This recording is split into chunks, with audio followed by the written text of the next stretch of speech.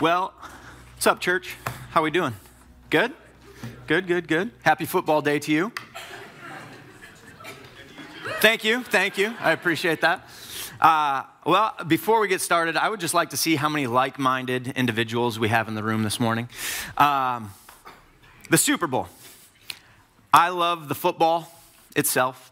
I love the commercials. I love the food. Love the silly little games you play, the squares. One thing I could do without, I could do without the halftime show.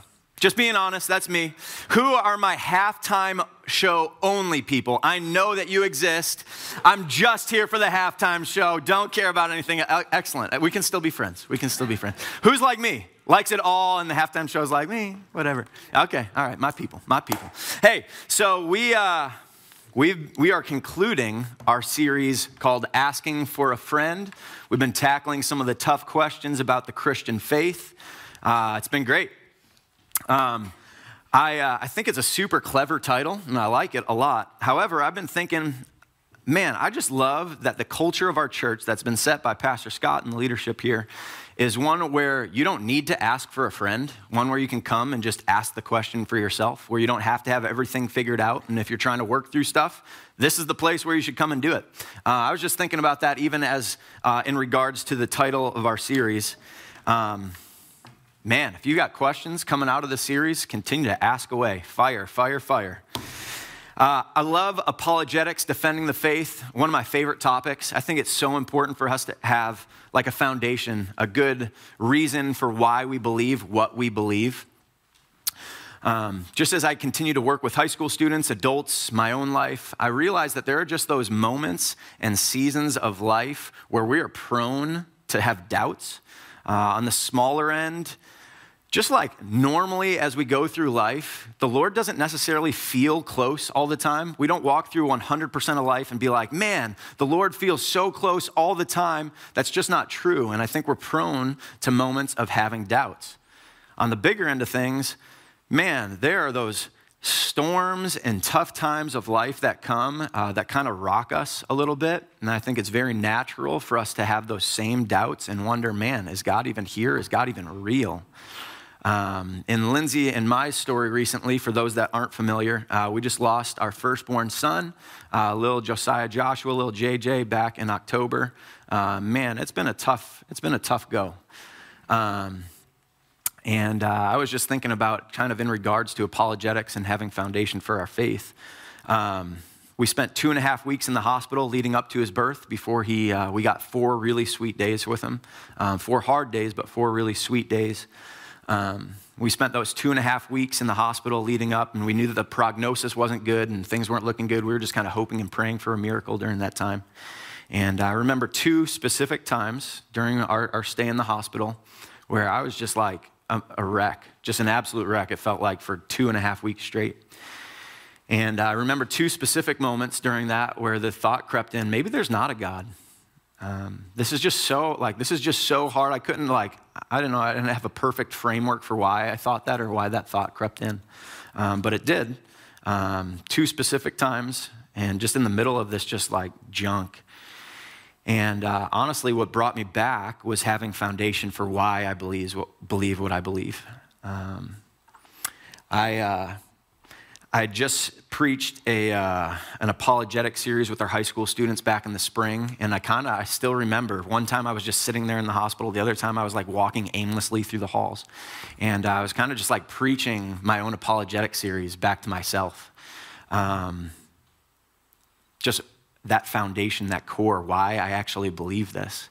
Um, the reason that I follow Jesus today is not because it always feels great or there's always going to be this amazing, like, it's just going to feel so good. And emotionally, I'm just going to be right there. Um, the reason I follow Jesus today, today, today, is because he's real, is because his word is true. Uh, and we can logically know so. Uh, I've been learning, or at least relearning, uh, over the past few weeks and months that, man, just sometimes our head, our brains need to lead the charge in our relationship with God when our hearts aren't quite there. Um, and man, just so important to cling to truth. Just cling to truth even when it doesn't feel good. Um, in my personal own investigation and just diving in, um, I'm convinced personally um, that the Christian faith, what we know uh, about Jesus, um, that explains the way the things are in the world the best, and it requires actually the least amount of faith out of any other worldview. Um, now, I know that pastors are really good at using hyperbole. Uh, however, today, today, the topic that we're going to study today might be the most important topic in the history of the universe. True story. So, we're going to dive in. If the events that we're looking at today actually happened, we don't need any other proof. Like nothing else is needed. Christianity is true. Jesus is who he says he was. We should surrender our lives, our everything to him. On the, on the contrary, if it's not true, if the events that we're looking at today didn't happen, every single one of us is a joker. Like we are wasting our times. Why are we even sitting here? I need a new profession, like badly. Um, as you can see there in our bulletins, uh, we're looking at answering the question can Jesus' resurrection be trusted? Now, Without the resurrection, there is no Christianity. Before the resurrection occurred, there was no Christianity. Even when Jesus himself was out walking around, teaching, healing, doing his thing, there was no Christianity. There was not Christianity until the resurrection happened. I cannot overstate the importance of Jesus' physical resurrection. Um, the entire case for Christianity, to say it another way, is wrapped up in the topic that we are going to discuss here in the next 30 minutes. Uh, Josh, no pressure. Here we go. So, you guys are in luck. You guys are in absolute luck because we have discovered new evidence. The original ring the ancient hidden video camera was right outside of the tomb. We've got evidence that Jesus walked straight out. Man, how sweet would that be, right? If we had some like videos that we could pull up. We do not, unfortunately. However, the evidence that we are going to look into today, I would argue, is extremely convincing. As we look back into history, as we look into everything that we can know, uh, it is extremely, extremely convincing. Uh, what I'm going to do today is I'm going to cover four topics. I'm going to kind of like have an, an overhead view and I'm going to sprint through. Like, we got lots of stuff to cover. We're going to move pretty quick, but I'm going to look at four different things as it relates to the resurrection. First, we're going to take a look at Jesus' death. There cannot be a resurrection unless we have a death. Jesus can't rise from the dead unless he definitely died. And so we're going to look at that. Then we're going to look at Jesus' burial um, and the empty tomb. What do we know about where Jesus was buried? And sitting here 2,000 years later, how can we know for sure that that tomb was empty 2,000 years ago? We're going to look at that. Then we're going to discuss Jesus' post mortem appearances after he was dead. He appeared. We're going to talk about those. And we're going to conclude and kind of wrap up with the drastic transformation of different groups and individuals. And that kind of ties everything together at the end. When we get there, in the end, I'm going to argue uh, that the best explanation for everything that we know historically is that Jesus actually conquered death. He actually rose from the dead physically. Um, now, I know that there's probably different groups of people out here today. Um, and so, if you are, would consider yourself just kind of like seeking or looking into things or skeptical or just trying to figure things out, not really sure, uh, my hope today is, is kind of like one of those light bulb moment, moments. Um, I hope that it's really good information and nothing else. I hope that it starts really cool conversation and brings up more questions. Uh, I think that would be a very useful um, way to use our time. And then if you are following Jesus already, my hope is that this is a sweet refresher. Um, and maybe there's some things that you've never heard before and are really good tools in your tool belt as you engage the world around you. Let me pray, and then we are going to dive right in.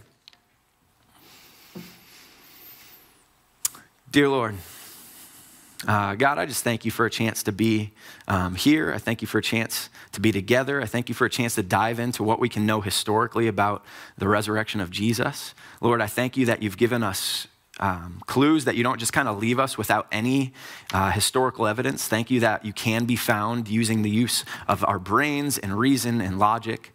Um, and I also pray uh, and thank you that you search after our hearts, that you seek us, and that you're pursuing us, Lord. Uh, Lord, I pray that I would get out of the way. I pray that you would speak, that you would clear my mind uh, in order to just communicate clearly. Um, we love you. We thank you. Uh, we worship you today. Pray this in the name of your son, Jesus. Amen. So, as promised, uh, the first topic that we're going to look at is Jesus' death. So, today, um, most people, Christian, non Christian, most people today do not deny the fact that Jesus died via crucifixion. There are some, uh, kind of the leading view, really the only view held by skeptics today, is that somehow Jesus either he fainted or he was drugged, but somehow he ended up off the cross and into the tomb alive but unconscious. It's known as the swoon or the apparent death theory. It started back in the 1700s. Um, it's been widely discredited since about the 1830s. Um, and the reason for that is just because there's too many facts that speak to the contrary. The facts say this first of all, surviving a Roman crucifixion just wasn't a thing. Roman soldiers were trained executioners. They were incredibly good at what they did, and they had reason to be incredibly good at what they did and made sure they finished the job. Because if a Roman soldier did not uh, successfully kill their victim, they were held personally responsible and were killed in their place. In the case of Jesus, Pilate had a specific centurion assigned to make sure that Jesus was dead before he got in the tomb. So that man absolutely would have made sure that he was dead before he got into the tomb. Additionally, Jesus was in really, really bad shape before he even got to the cross. Uh, we know he was flogged, he was whipped, um, his veins, arteries, intestines, everything just kind of laid bare. Uh, he was in incredibly bad shape. That would have been enough to just kill him by itself. And then he went to the cross.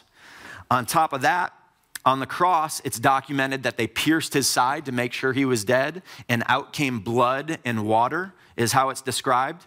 It's nice having medical uh, advancements and modern science. Today, we can speak me- in medical terms and know that that was the serum that had separated from the clotted blood, again, proving that he was already dead before he went into the tomb.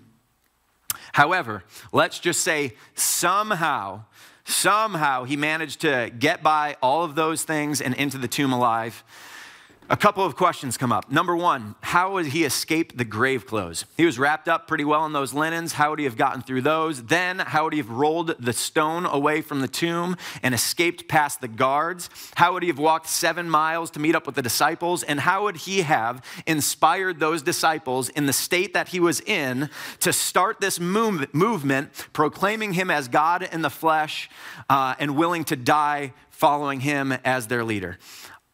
None of that adds up. Uh, none of that adds up in my brain. Additionally, we have the testimony of non Christian historians back in the first century that uh, I've got two of them that both attest to the fact that Jesus died via crucifixion. One of them is Tacitus. He was a Roman historian in the first century, and Josephus was a Jewish historian back then. Uh, they both record Jesus' death. Again, the theory has been widely discredited, um, and I would argue that it takes way, way more faith to believe that Jesus didn't die on the cross than to take the fact that he did. My opinion. Uh, I would argue that it is safe to say that Jesus' death by crucifixion, historical fact, we can count on that today. And we're going to move on to section number two. You guys with me? Yep, excellent. Jesus' burial and the empty tomb.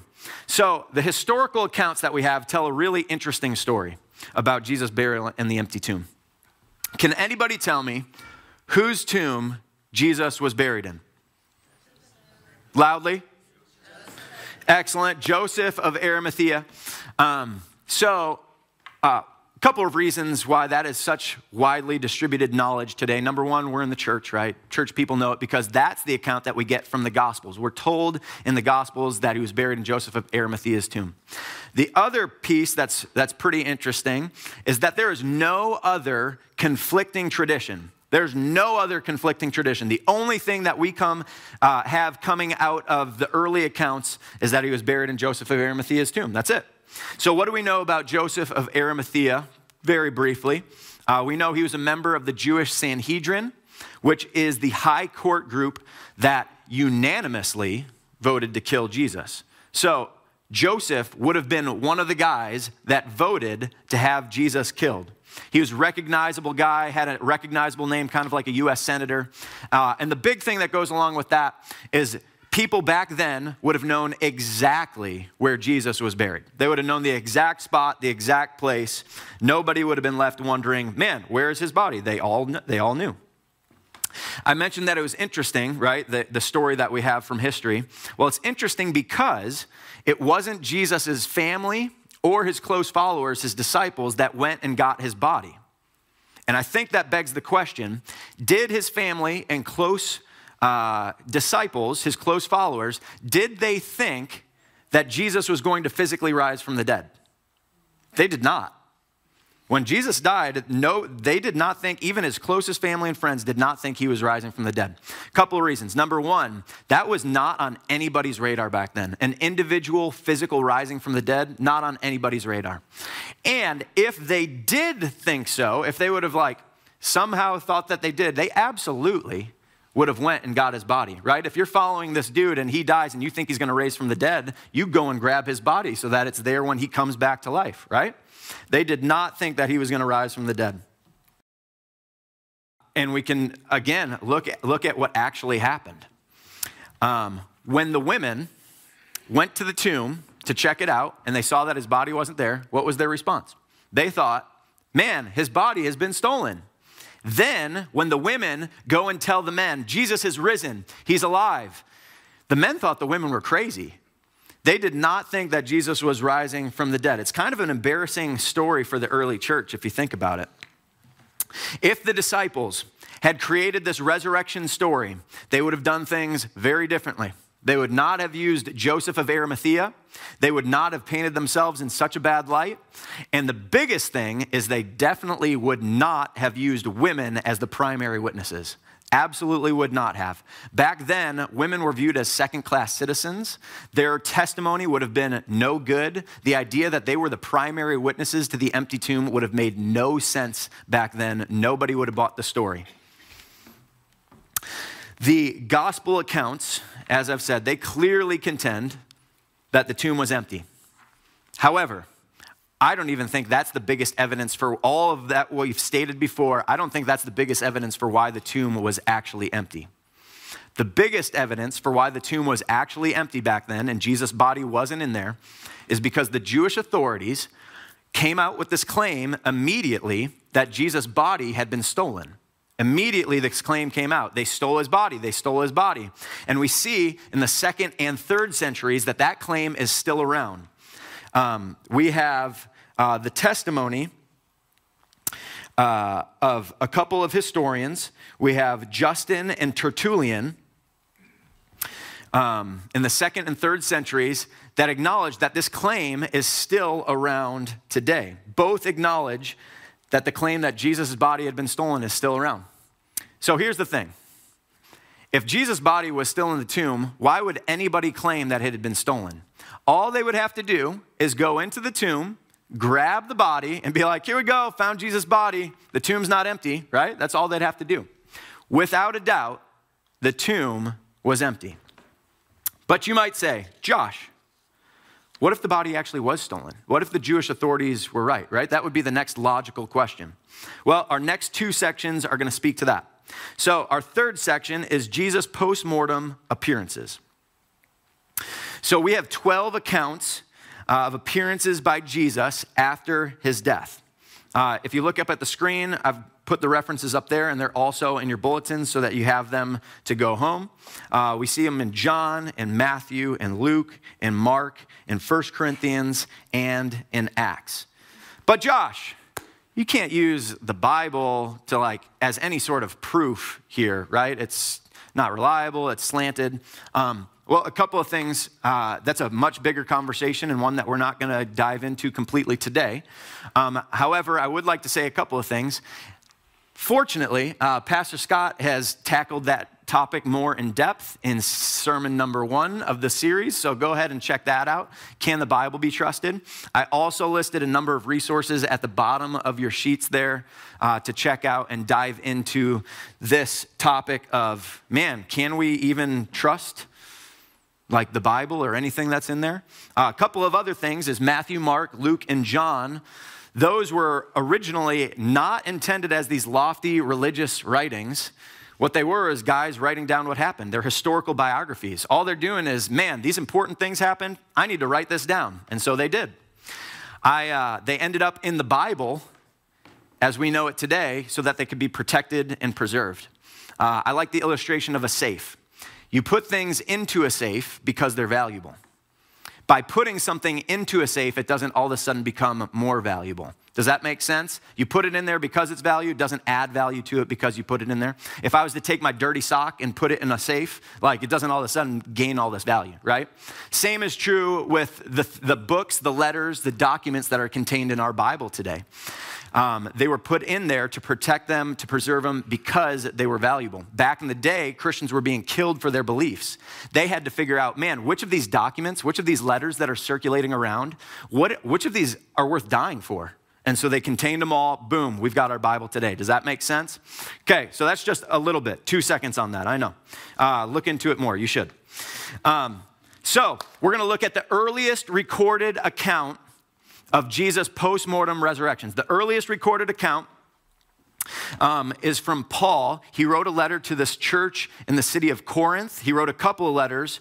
Uh, the one that we're going to look at is today called First Corinthians, and we're going to look in uh, ver- chapter 15, verses 4 through 8. It's up here on the screen. That he was buried, that he was raised on the third day according to the scriptures, and that he appeared to Cephas and then to the twelve.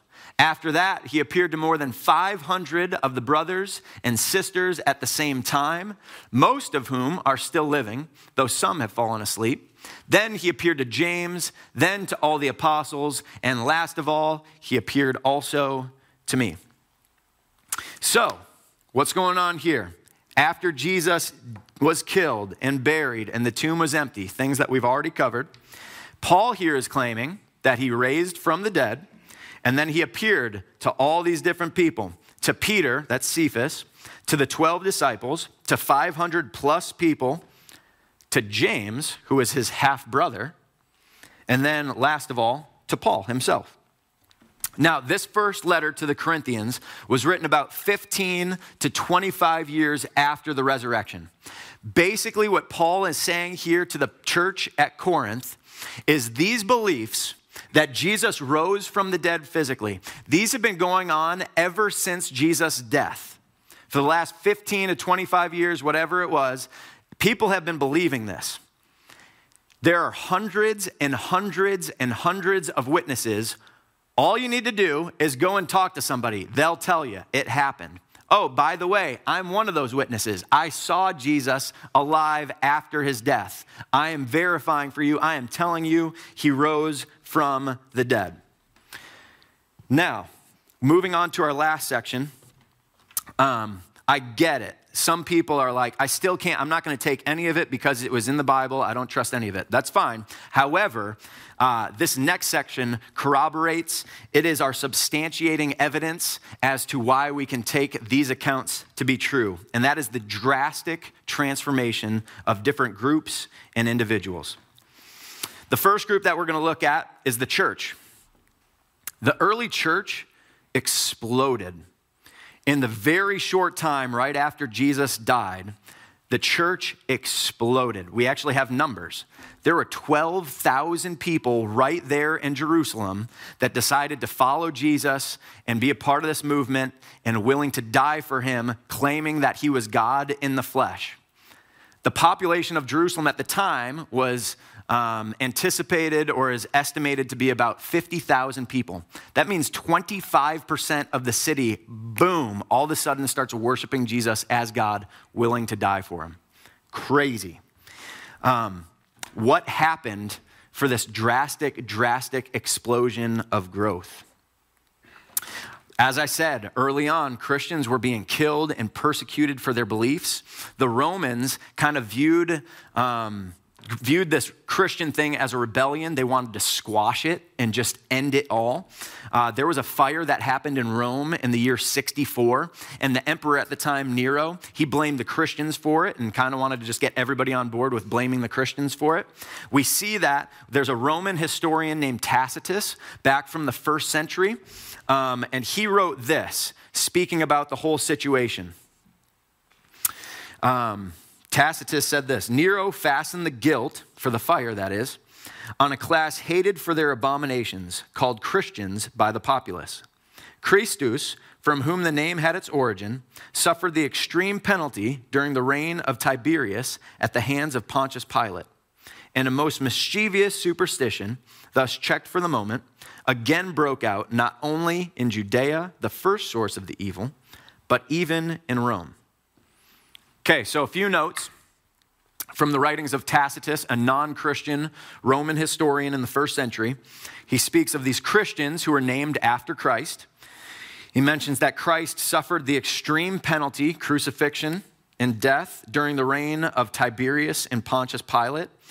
And he mentions a mischievous superstition, all this talk of him rising from the dead, which caused growth, and not only in Judea, but also in Rome.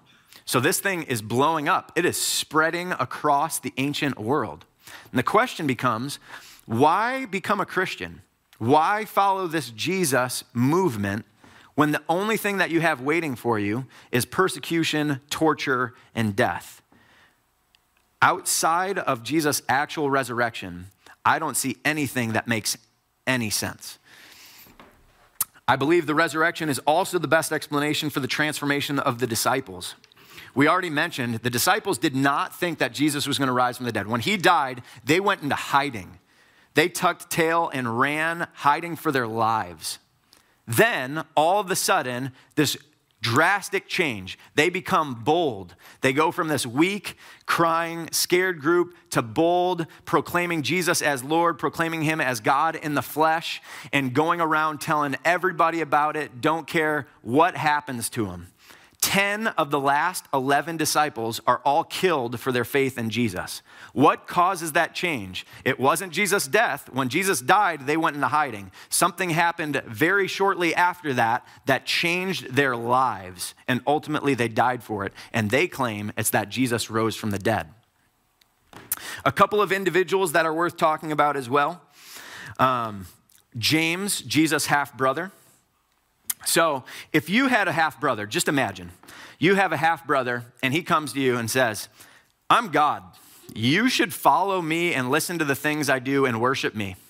What would be your response? You probably wouldn't be on board, and neither was James. James was not on board the Jesus train during Jesus' life and ministry. Not about it, not a follower, very skeptical. Then Jesus dies. Then, all of a sudden, James has this drastic, crazy life change. All of a sudden, he is a leader in the local church. He is proclaiming his half brother as God in the flesh and worships him and ultimately is killed for his faith in Jesus. He claims that he saw Jesus in the flesh. We see that in Paul's letter to the Corinthian church. Lastly, uh, we have Saul of Tarsus. If you've been around the church uh, very much, you know Saul of Tarsus' story. Uh, we know him as the Apostle Paul. He was one of the greatest threats, one of the greatest enemies of the early Christian church. He was going around from city to city, grabbing Christians, throwing them in jail, handing them over to be tortured and killed. He hated this Christian movement early on, hated it. All of a sudden, boom, switch flipped. Acts chapter 9, we see the story. He claims he saw Jesus in the flesh and he ch- changes everything. He becomes one of the greatest missionaries the Christian faith has ever seen, and ultimately is killed for his faith that Jesus was God in the flesh and for worshiping him. In review, to kind of just like wrap up where we've gone so far, uh, Jesus died via crucifixion, and I think that's pretty much a slam dunk. We know where he was buried. We know that the tomb was empty because nobody could produce Jesus' body. Um, for sure, the tomb was empty, and we can be confident that his body wasn't stolen because of this two part corroborated evidence that so many people claimed they saw the risen Jesus, hundreds and hundreds and hundreds of witnesses, verified by the transformation, this drastic transformation of all those groups affected and the surrounding uh, areas. Now, claiming that Jesus is God, worshiping him, willing to die for those beliefs. I, uh, my intent today, uh, I know that I can be very passionate and even seem, I think, maybe a little forceful. I don't know. Um, but my intent for those that are still skeptical, still trying to figure things out and ask questions, I think that's great. Um, my hope is that today maybe even just started some more questions, or hopefully it answered some. Um, however, if you're still in that boat, that is absolutely all right, and I'm really glad that you're here, and uh, I would love to even dialogue more, um, just even privately would be sweet. Um, however, I would argue that now the burden of proof um, lies with you, and I believe that um, it's up to you to come up with a historically, um, uh, historically accurate uh, alternative, something that uh, is feasible based on all the facts that we have um, and all the evidence that we do have, um, I would just contend uh, look into it and come up with a historically feasible alternative. Um, and I would love to discuss and dialogue with that further. Um, however, I would argue that the actual resurrection, Jesus' physical resurrection, like he said he would, is the best explanation for all the evidence that we have, and it requires the least amount of faith than any other worldview concerning this topic. That being said, um, I know that we've been in a, in a series that's been very heady and just kind of like using our brains a lot, and I think that's good. I think that's really sweet. Um, but I love that the Lord doesn't just leave us to using our brains. I love that the Lord pursues our hearts um, and wants our hearts in the middle of it. So, as we conclude this series uh, on apologetics and asking for a friend, um, I just wanted to close with a really cool story about uh, God's goodness and his pursuit of even Lindsay's and my heart over the last few weeks and months. Um, after JJ passed uh, a few months back, um, and kind of everything just went down with him. We decided that we wanted to just get away over the holidays and just kind of be gone for Christmas and New Year's and clear our heads, spend some time together, spend some time with the Lord, and really honestly just be away. And uh, so after uh, long story short, we just kind of decided that we were going to try and see the northern lights. We figured, man, when else are we going to be traveling over winter? Let's go for it. So we did some research and trying to figure out like where to go. And we landed on this tiny little city up in northern Norway, up in the Arctic Circle called Tromsø. And uh, just in research, found that the northern lights are kind of elusive, hard to see. You might as well pick a place where there's other things to do in case you can't see the lights, because chances are you might not.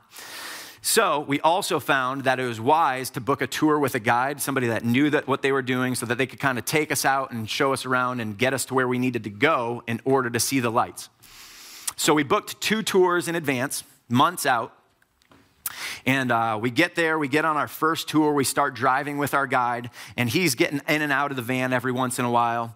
And what he's doing apparently is he's looking for clear skies. If you can see the stars up in the sky, then you can see the northern lights if there's northern lights activity. You kind of need all the stars to align and everything needs to work out perfectly and hope that you see them, basically.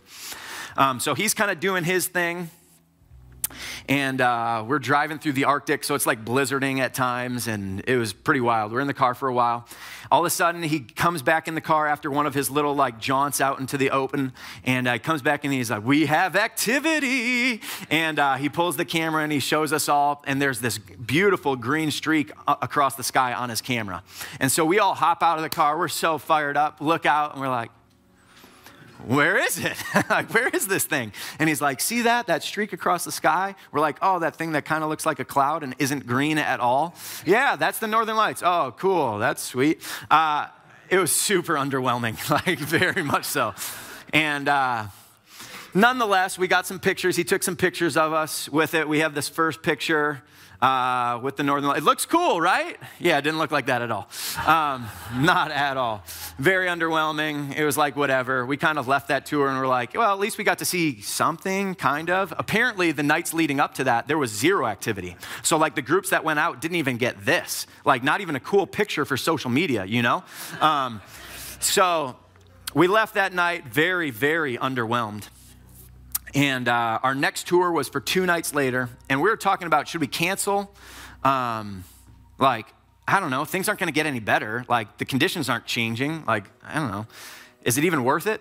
And so we're like, you know what? We're here. We booked it already. Let's just go. It'll be an adventure. It'll be whatever. So, two nights later, we get picked up by our, our guide and we hop in the van. We're the last people to get picked up, so we're not even sitting next to each other. Like she's in front of me, I'm behind her. We're like, what is happening? This is the worst. Uh, this, this night is going to be terrible. Um, and so, just very pessimistic, very just like, whatever, let's just go. So we're driving, and he's like, we're going to Finland, guys. We're like, how long does it take to get to Finland? So we drive two and a half plus hours uh, through the Arctic uh, to get over to the towards the Finnish border, and uh, we're driving. And I look out the window. I was like, I think I see something. Sure enough, I say that to the van. Sure enough, we pull over on the side of the road, hop out of the van, and we look up, and there's this giant green sky, this giant green streak going through the sky. And we're like, Lindsay and I are freaking out. We can see it with our eyeballs, and we got a picture of that too. Um, that's us actually witnessing the Northern Lights, which was really, really cool. We were freaking out, right? Because the night before was so lame. And so this time we're like, Lindsay and I are freaking out. Everybody else is like, hmm, the Northern Lights. You know, it's like, guys, this is awesome. Uh, so the guide is like, trust me, trust me.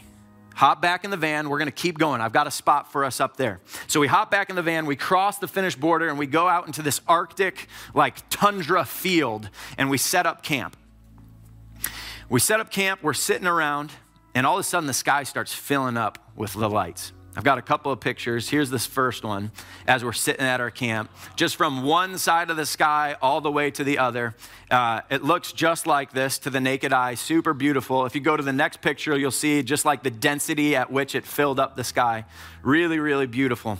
Uh, and we we're like getting our pictures taken with it and super excited. And like, again, Lindsay and I are still like, we're freaking out more. And everybody else, like, they've elevated slightly, but we're like clearly like the freaks in the group. Um, we go and Lindsay and I are taking a photo with the lights and we're so excited and everybody else starts geeking out. Everybody else starts yelling and screaming. We're like, what's happening? You have to stay really still during the photos because it's a two second exposure. So we're like, what is happening? You know, trying to like look back behind. Uh, we turn around after the photo and the sky is dancing. I've got, a, I've got a video. If you go to this next video, it's hard to see, but the sky just starts dancing and moving. It's turning pinks and purples, it's changing colors, and it is just this absolute magical show of the northern lights. And we're just like, jaw, you know, just like jaw dropped, yelling, like jumping, like I'm like hugging and high fiving people. Um, just like freaking out, one of the coolest just displays ever.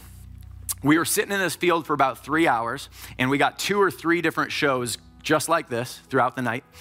Um, and at the end of one of the shows, uh, the Lord just blew our minds. And uh, the northern lights kind of move and shift and form into this perfect J. Um, we have a picture of it right there. And then the J splits into two, and it says JJ up in the sky. Um, and then it splits again, and it's a third J, uh, or JJ with Jesus. And um, Lindsay and I were just like blown away. Lindsay's like bawling her eyes out. You can see in this photo, she's even crying. Um, just bawling her eyes out and just like so overwhelmed. Um, the last like months leading up, we felt like we'd just been like clinging on, you know, just like clinging on to truth. We know this to be true. Like we know it is with our heads and we don't feel it with our hearts, um, but we know it. And uh, the Lord was just like, I love you. Literal love letter in the sky. I've got JJ. He's good. I love you. I'm pursuing your heart. And uh, we are just, just blown away. Um, we have been talking about this a lot, uh, just like one of the coolest moments that we've ever experienced um, in our lives and probably will ever experience. And uh, we were talking about it and just like what the Lord was speaking to us, even through the northern lights, and uh, just how there was so much disappointment and, and pessimism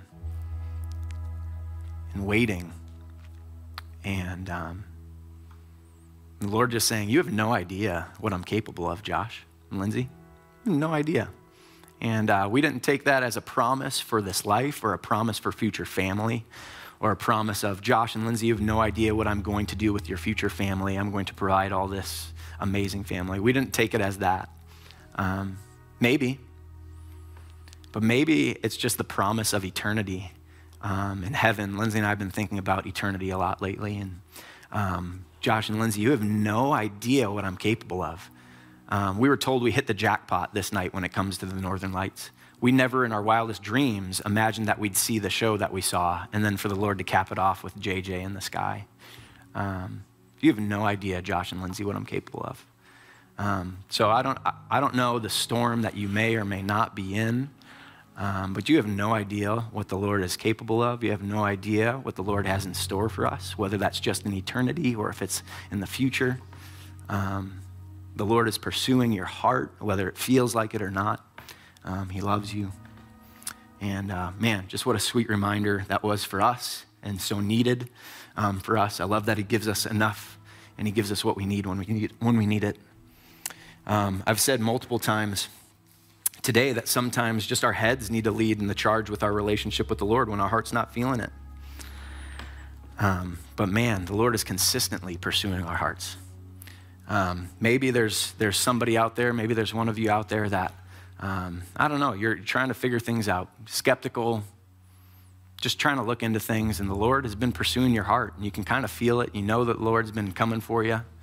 Um, my hope is that today was helpful as far as just like the logical and reason things, and maybe evidence for the resurrection is that light bulb click moment. Like, man, this makes sense. And if Jesus died and rose from the dead, like, I don't need anything else. That's enough. Maybe today's the day. Um, maybe you still have questions, but you just know, like, the Lord is coming after me. I need to, like, I need to make a decision. I need to follow Him with my everything.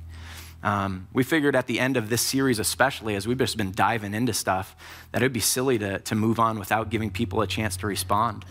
Um, and so, here in a moment, I'm going to give you a chance to respond uh, and pray a prayer with me. But I just wanted to say a couple things even before we got to that. Is first of all, um, my hope is that this isn't emotional or contrived decision. Um,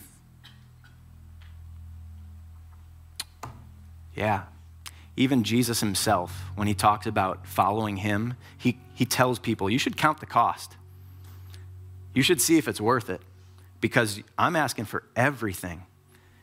When Jesus, at, when you give your life to Jesus, he wants it all. He wants 100%, no holding back. Um, so count the cost if that's you. However, on the other hand, man, if the Lord is calling, there's no better time than today to accept the best deal in the history of the universe. Sure, we have to give him our everything, but we get his everything. And I promise you, his everything is a whole lot more than we could ever imagine, a whole lot more than we could ever attain on our own. It is the best deal that you'd ever uh, get in your entire life. If that's you, if this morning you're saying, yep, I'm, he's been pursuing me. I'm surrendering my life to him. I'm following him with everything. I'm choosing Jesus' death as payment for all my stuff so that I can get all the goodness that comes with Jesus' resurrection. If that's you, would you pray this prayer with me this morning? Heavenly Father, thank you so much for pursuing my heart. I know I am a sinner. I know that I need you to make me clean. I know I can't do it by myself. Thank you for sending Jesus to do that, to make me clean. Today, I choose Jesus' death as payment for my sin once and for all. Thank you that Jesus didn't stay dead, but that he conquered death. Thank you that he conquered death for me. In return, Lord, I give you everything. Here's my life. Take it, it's yours. I love you. Heavenly Father, I, uh, I just thank you for a chance to be here together. I thank you for a chance to dive into just some reasonable things and logical things and evidence for the resurrection. Um, Lord, I just thank you that you died for me. I thank you that you conquered death. I thank you that I have no idea what you have in store for me, whether that's in this life or in eternity. I thank you for your goodness. I thank you for pursuit of our hearts, um, that you don't just leave us out there wondering, that you give us what we need when we need it. We love you. We're thankful. Pray all this in the name of, of your son, Jesus. Amen. In a moment, I'm, uh, I'm going to give those of you that prayed that prayer for the first time an, an opportunity to respond. Um, here in a moment, I'm going to count to three, and I'm going to have those that prayed that prayer for the first time and surrendered their lives to Jesus for the first time ever to stand to their feet. One as a declaration of Jesus, I'm following you. I want everybody to see it, and for all of us to see, man, they're in the family. That's sweet. Um, after that, uh, after we've got new family members standing on their feet, or if not, that's okay. We're going to stand to our feet and worship the risen Lord together. Does that sound good? So, if that's you, if you prayed that prayer for the first time this morning, Uh, on the count of three, I'm going to have you stand at your feet, and then everybody else, we're going to cheer and join in celebrating with the angels of heaven. If you prayed that prayer for the first time this morning, one, two, three. Yeah.